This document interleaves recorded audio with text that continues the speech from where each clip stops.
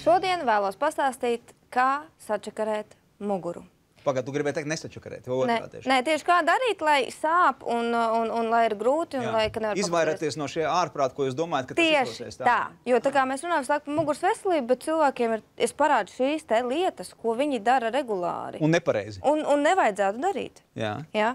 Un, um, nu, tātad arī kā nonākt šādā te pozā, esmu sagatavojis attēlu, kas būs poza, kas jums palīdzēs tad, ja sāpēs muguru, ja būsiet viņu, kā saka, jau pārpulējuši. Kā nonākt šādā pozā, vai ne? Tā ir relaksācijas poza. Tad, kad cilvēks nevar paiet, tad, kad viņam sāp muguru, tad viņš uzliek ķeblīti 90 grādi, 90 Gatu, grādi. es darīšu un atpūšas. Esmu Ir, darījis. ir darīts, jā? Es šādi gulēju, ja? Diemžēl pat vairākas reizes, jā, un šī ir tiešām ieteicama poza. jā. Un, un cik ilgi jā, tā būtu? Gati? Nu, pārsvarā, Nu, piec. Nu, cik ilgi? nē, nu, tas ir atkarībā no tā, cik liels ir sāpes. Jo sāpes var mēdz būt dažādas, tādas, ka tiešām nevar pastaigāt, vai, vai ir sajūta, ka varētu būt tās sāpes tik lielas, ka pēc nezinu, diviem, trīs mm. treniņiem vai divām, trīs spēlēm būs atkal kas saka, sācinājums. Tad, Šī poza noteikti ir ieteicama. Jā, Viņi bet es var saprotu, arī- ka tur treneris Kurtināts savulaik viņam tur vispār bija vēl stāsts ar muguru savu, jā? Jā, viņam arī bija liels problēmas. Tur nez, nezinu, medicīniski kādas, bet tiešām bija pāris treniņi, kad viņš nevarēja atnākt. Vai ja viņš atnāca, tad viņš atnāca tur pusklips saliecies un visu treniņu laiku tur nu gulēja uz kušetes un doktori un fizioterapeiti palīdzēja. Apstrādē. Nu, apstrādē tiešām tā treneri. arī bija. Jā, un, un tad pēc tam viņam nācās vingrot tur ilgi, mm. jo, nu, kā mēs zinām, lai izsargātos no muguras sāpēm, nu, tad galvenais tiešām ir nevis gulēšana uz grīdas, bet nu, tas ir tas sākums. Bet pēc tam ir jānodarbina gan muguras muskuļi, gan vēdera presa jātrenē. Okay. Nē, presa ļoti svarīga. Jā.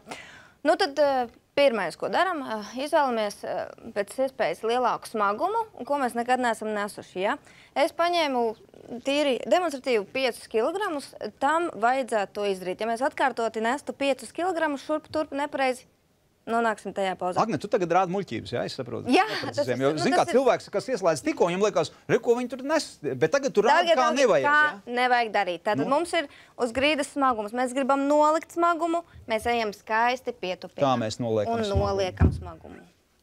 Ja? O. Tā mēs noliekam smagumu. Un kā mēs pats? Bet mēs, un arī paceļam mēs viņu cauri pietupienu. Ja? Pilnās pēdas, es redzu, tev ir. Ja? Tas ir labāk, ja? Pietupiens paceļam.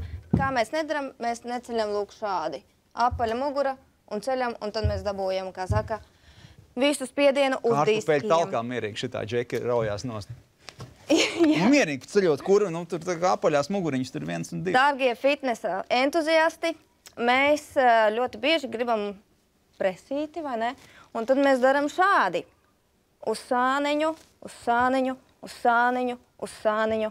Tā mēs nedaram, jo mugurkaulam visvairāk nepatīk, kad mēs esam uz priekšu, tā saucās fleksija, plus vēl pieliekam rotāciju. Tas kairina diskus tā, ka maz neliekās. Mēs varam izvēlēties citus drošākus variantus, kā to sānu muskultūru trenēt. Ja? Šo nedrīkst. Šo mēs Aizmirstam. nedarām. Ja? Un tad arī, ja jums ir bijušas muguras sāpes, nu, tas mums visiem ir bijušas, kā piecelties. Mēģinam arī nu, to noskaidrot. Mēģinam nevis rauties augšā, bet smuki pagriežamies sānis un pieceļamies. Un nevajag kompleksot, ja, kad, kad varbūt sāns neizskatās sportiski baigi. Ja, kad tu, Vienkārši sānis. nu, tad parādi tagad. Tad mēs guļam, ja? un mēs smuki sāniņu pagriežam ar rokām uz vienu celīšu un esam augšā. Un kā, nu, ja mums ir arī smagums, paņemam līdzi caur sāniņu, hop, pieceļamies, ja? Labi, nu. Nu, lūk, tas tā kā būtu skaidrs. Kā nenodarīt savu pāri? Tad šīs ir visbiežākās kļūdas. Protams, atceramies viss, kas būs uz priekšu. Šādas kustības, ja mums ir bijušas muguras sāpes, ja mums viņas ir, tad mēs viņas nedarām. Nedarām. Ne. Un ko darām? Nu, trenēt. Tad- Tātad man te jautā, kā pareizi taisīt, ja, ko tu darīt. Jā. Tikpat labi šo smagumu mēs varam izmantot vienkārši saspringzinot vēderu, saspringzinot sēžu un uz leju.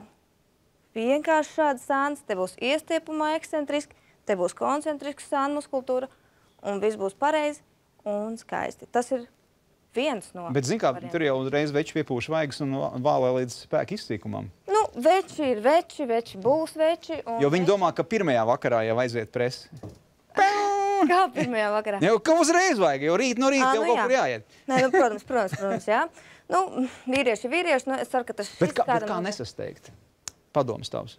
Jo gribās taču skriet pa priekšu. Nu, tas jau ir psiholoģiski viss tas. ka gribās skriet pa priekšu. Jā, par to mēs runājam iepriekš redzējām pareizi. Jā, tā kā domāsim ar galvu, būsim gudri, mm. iesim uz to pakāpeniski, sajutīsim sevi. Un, piemēram, ja mēs arī sasteidzam, tad tāpat būs stop, ķermenis pateiks stop, man sāp muguru, un tad tu sēdēsi. Es dzirdēju, jāklausa arī ķermenim. Jā, ieklausamies, vai ne? Tu Jo, to jo, manis jo ja sāp, Agnet, jo ja sāp, tad ķermenis sāk priekšā. Jā, tas ir sā, viņš signalizē.